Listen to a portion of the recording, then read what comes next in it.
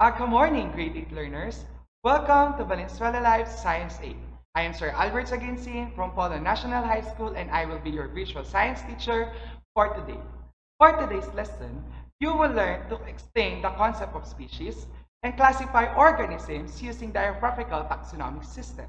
Specifically, you will learn to describe the concept of species, discuss the levels of biodiversity, and identify the different levels in the hierarchical taxonomic system. Here are a few reminders before we start with our discussion.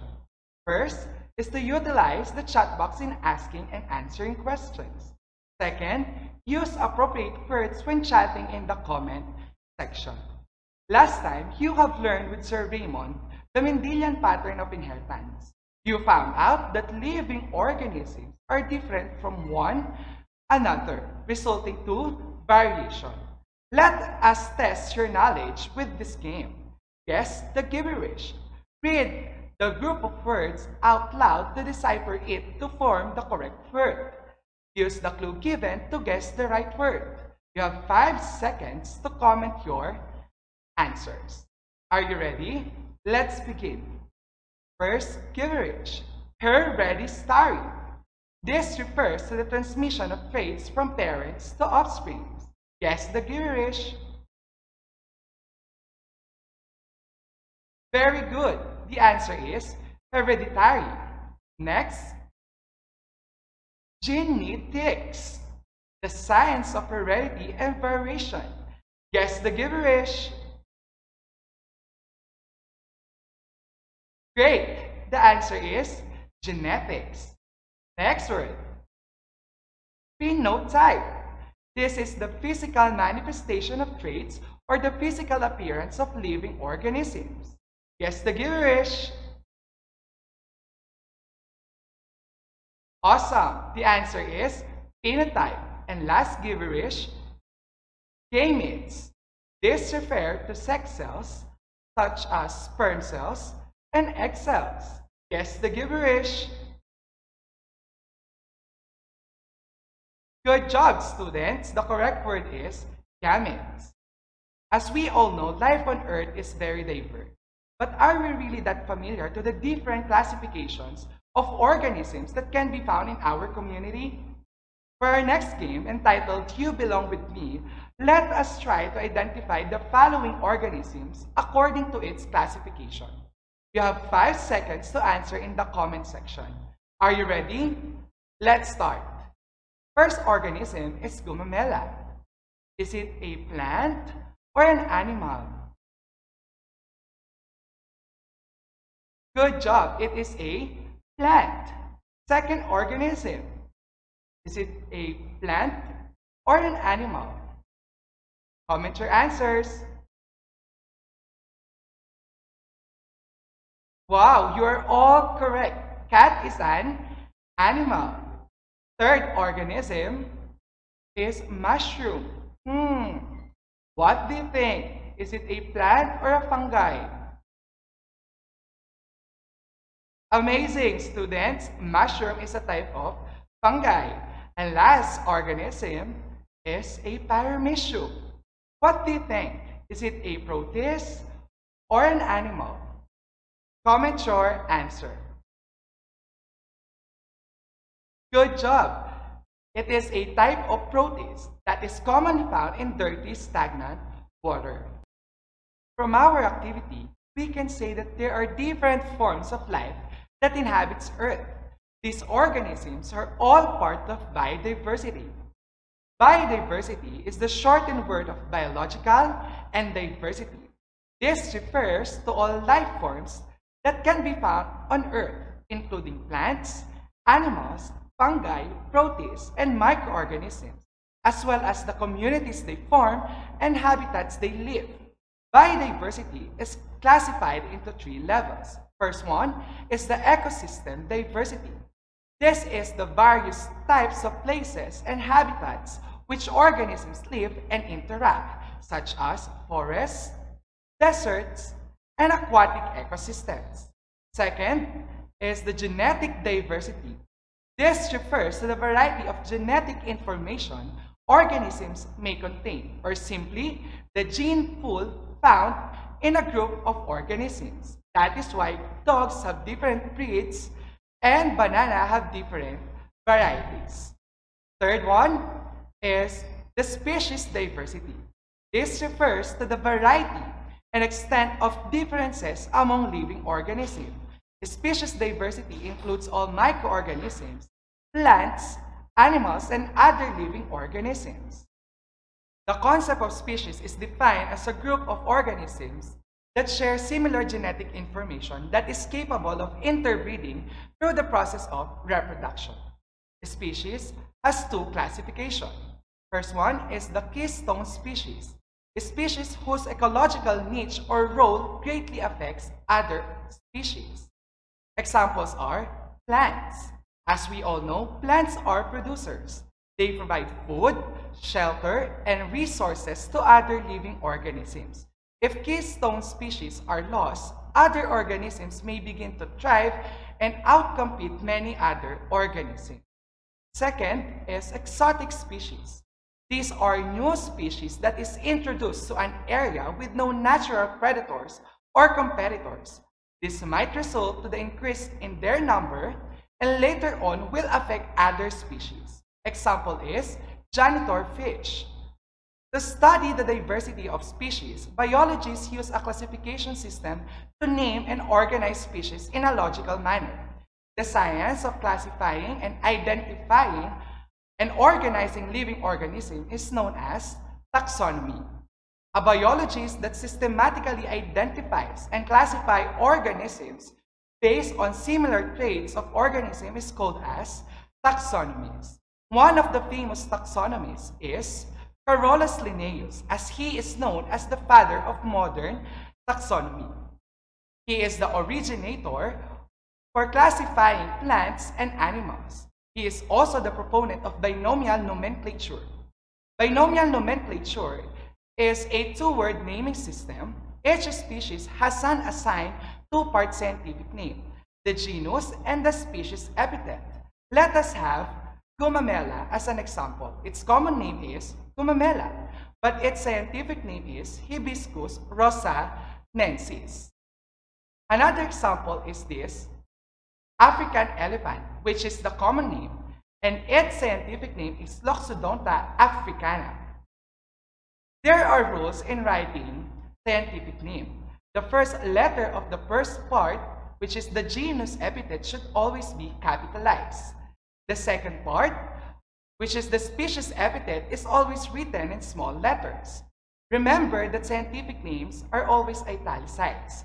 When, when handwritten, it, is, it should be underlined.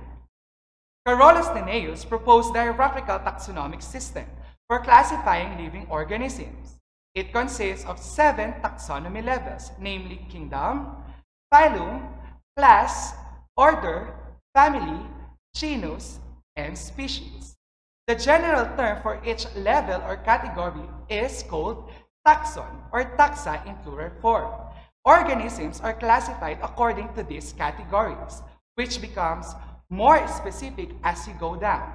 The most specific in the group is the species taxonomy level. The general category among the taxonomy levels is the kingdom. Robert Harding Whittaker proposed the five kingdom classification system based on first the nature of cell nucleus. It's either prokaryotic or eukaryotic cell.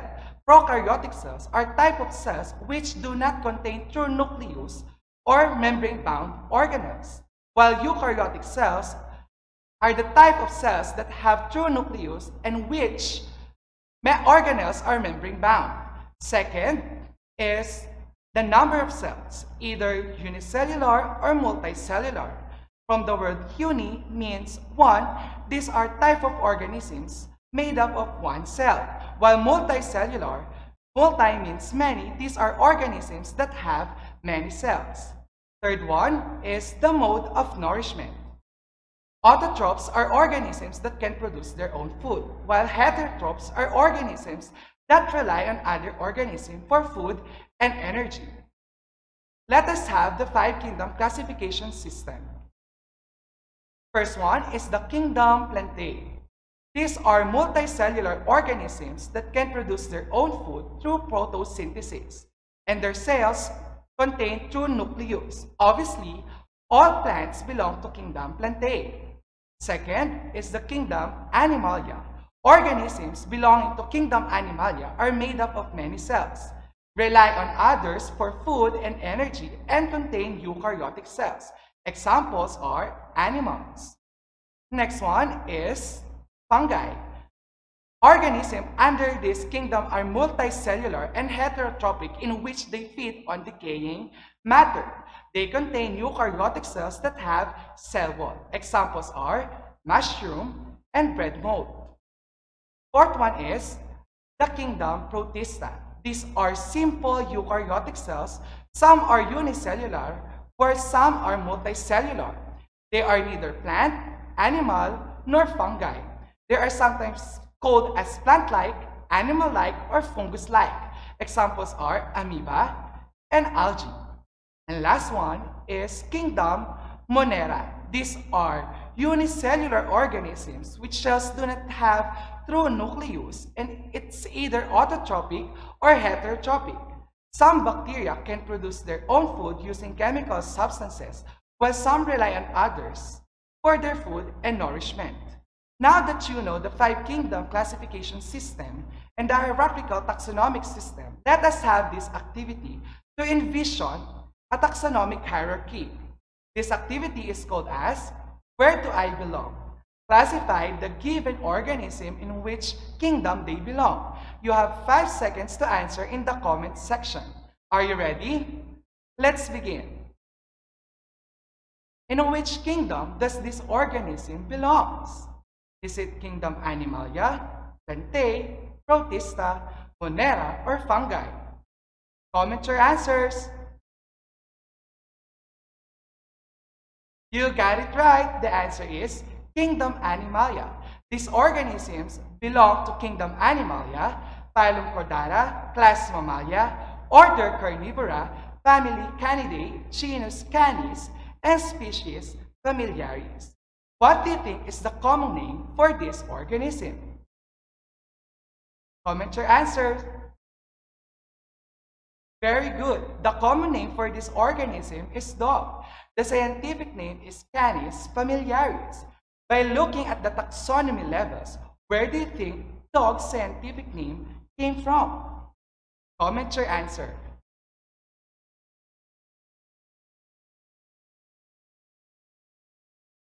Amazing! Canis familiaris came from the genus and species taxonomy levels. Another one, in which kingdom does this organism belongs? Is it kingdom Animalia, Plantae, Protista, Monera, or fungi? Comment your answer. Awesome! This organism belongs to kingdom Animalia, phylum Chordata, class Mammalia, order Primata, family Hominidae, genus Homo, and species Sapien. What do you think is the common name for this organism? Correct. The common name for this organism is human. Using the taxonomy level, can you guess the scientific name of human? Comment your answer. Amazing! The scientific name of human is Homo sapien. Again, scientific name came from the genus and species taxonomy levels. It's trivia time. Did you know that there's, there is an estimate of 8.7 millions of species across the world? And only 25% of these 8.7 million were named and identified by scientists because naming them all would take a thousand years.